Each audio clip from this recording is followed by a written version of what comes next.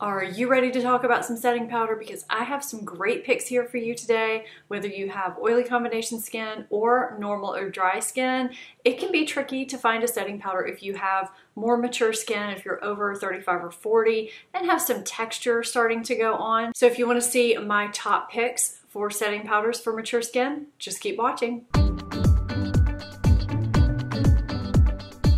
Think there's something for everyone in this video, no matter what skin type you are. I do have oily combination skin, but I have some powders here that work really well for normal and dry skin too. They're not all mattifying powders. There's different types here. I do have a top favorite powder. I know a lot of you know what it is. I'm going in no particular order because I just think it's a little bit more fun that way. So I'm going to start with the Too Faced Peach Perfect powder. This was probably my top favorite before my top favorite now. It's a great powder. All of these are great powders. I wish I could have had a top five, but then it wouldn't have allowed me to give you guys such a variety to pick from if you have different skin types and things like that.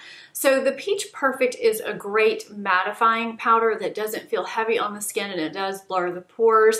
I love the packaging of this. It's got this nice flip top so if you're traveling you don't have to worry about it spilling all over the place and gathering between the dispenser and the lid. All of these powders are translucent so they don't change the color of your makeup. Some are going to be kind of peachy looking, some are going to be kind of beigey looking. Actually there's one small exception in here and I'll get to that in a minute. This one is kind of a peachy beige. It does have that peach scent to it. This is a really great powder if you have oily combination skin. And like I said, this was a favorite for a long time. And I think that if you do have a shiny T-zone or get oily during the day, this is a great one that does help control oil. You'll notice within this video that most of these powders are loose powders. I find that setting my foundation or my under eye concealer with a loose powder just tends to work a little bit better and last a little bit longer before I have to touch up later. This video does not include finishing powders and touch-up powders. I'm gonna cover those at another date. It was just gonna make this a little bit too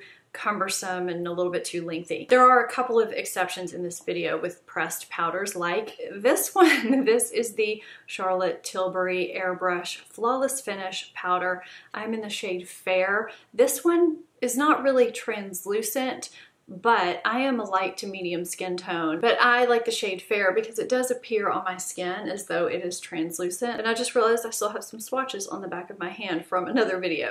But you can see there that you really can't see it on the skin even when I'm swiping it or very minimally. This is one of the most beautiful powders I own and I say I have a favorite setting powder but this one ranks right up there too. This one isn't mattifying. People with oily skin as well as dry skin love this powder. I love it because it's great for travel because it's very sleek and compact. It sets beautifully under the eyes. This is probably my favorite powder to set my under eye area with because it does smooth, it doesn't enhance the dryness or texture or anything like that. My under eye area is dry and this is just beautiful under the eyes and it sets the face. So it kind of does everything. It's a little pricey, but to me, it's worth it. I love this powder and I have repurchased this powder and have a backup. I really don't like to be without this powder. Let's go to the other end of the spectrum and talk about a drugstore option because I was just realizing in this video, unlike my finishing powder and my touch-up powder video, this one does not have a lot of drugstore options in it. That one will have more drugstore options. This is the number seven translucent perfect light powder. I have been talking about this powder off and on for a really long time. I love it and I feel like it's completely underrated. It is just barely beige tinted this sets beautifully under the eyes and on the face. You know, nothing sets exactly like the Charlotte Tilbury under the eyes, at least not for me, but this is pretty close. This is a really great setting powder for both the face and the eyes.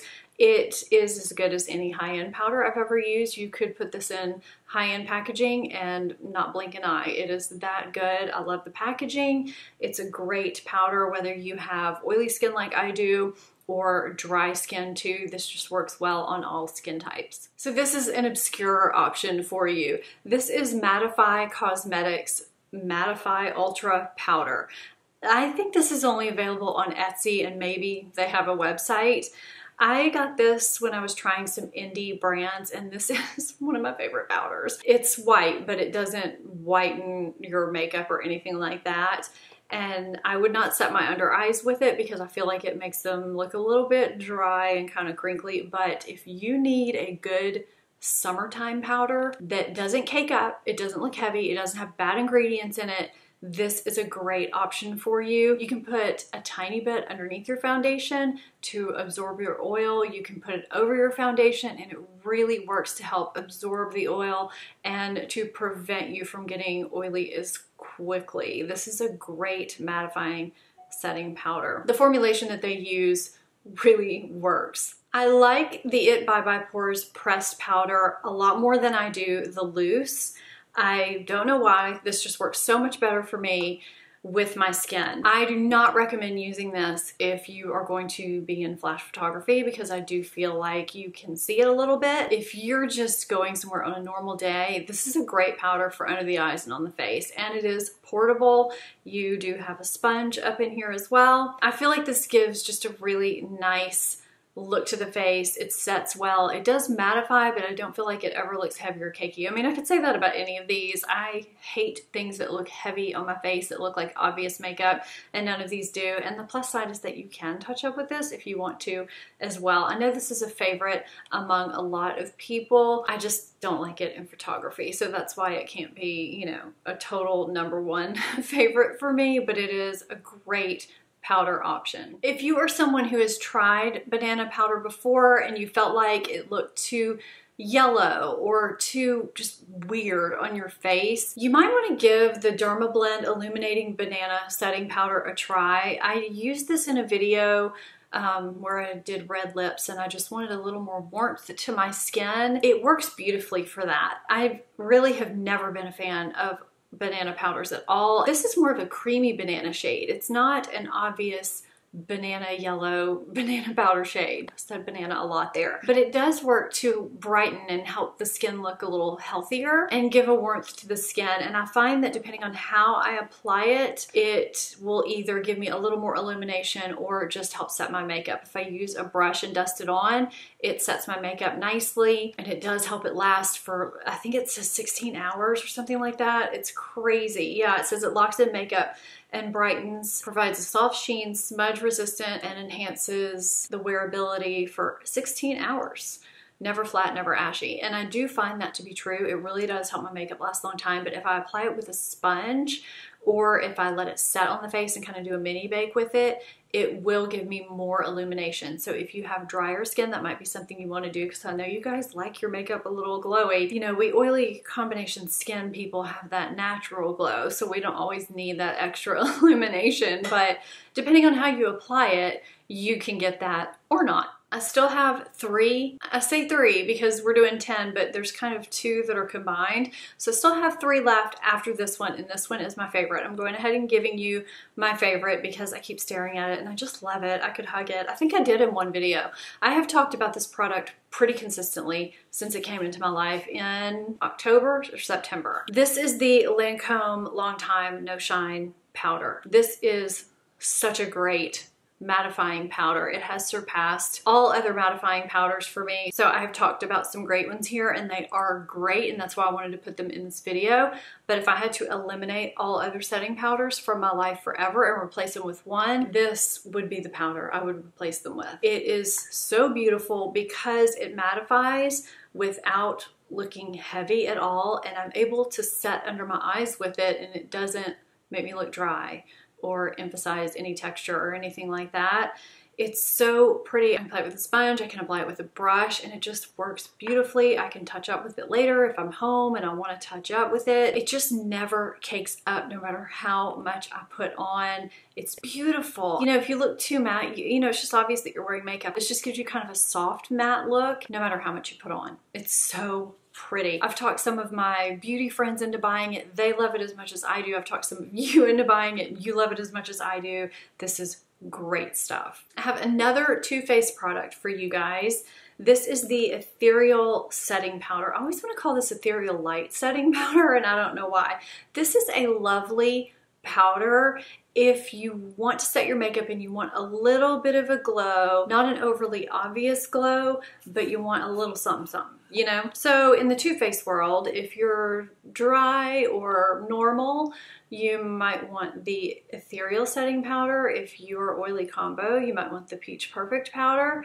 That's kind of how I would look at these. This is a really beautiful powder, even on oily combination skin, if you want a more radiant look without being overly glowy. I know some of you are gonna give me a big eye roll for even mentioning this brand in here, but the powders are really good. And I mentioned the concealer in my concealer video. And so I'm counting these two as one just because they come in a set if you want them to come in a set, but they're really good. So this is the KKW Bake powder and Brighten powder. This might be my second favorite under eye setting powder to the Charlotte Tilbury. It's that good. And look at the packaging, it's pretty cool. The Brighten, I know some people set with this. I don't like to set with the Brighten powder because I feel like I get creasing when I set with it. The Bake powder has just a subtle beige tone. It's almost kind of a cream. I'm in the shade one in both. I find that it sets beautifully. It doesn't look cakey. It doesn't emphasize texture. It's just a nice light setting powder.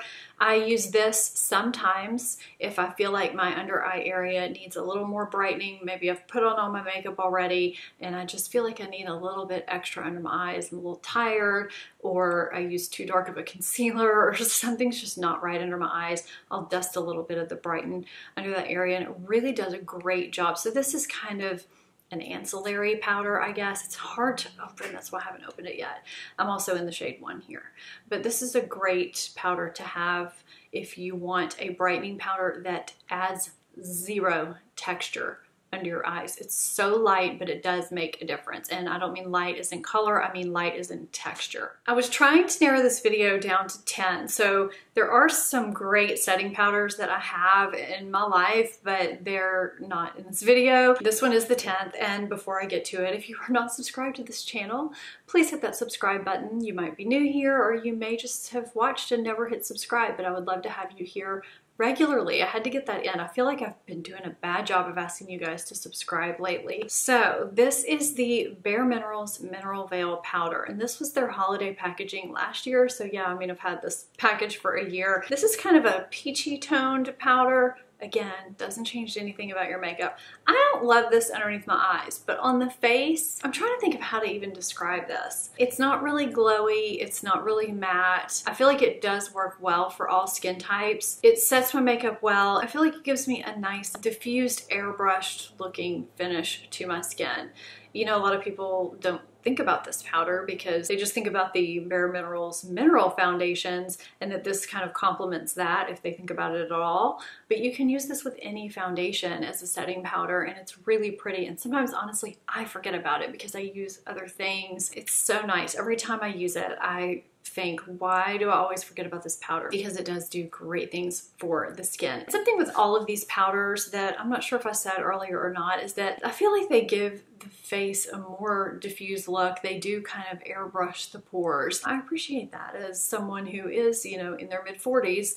I, I, can use all the help I can get, and I'm sure most of you can too. I would love to hear what powders you're loving. If you agree with any of these, or if you don't, leave that down below. I hope this helped you in some way. Also, let me know if you plan on trying any of these. Thank you guys so much for watching, and I'll see you in my next video. Bye-bye.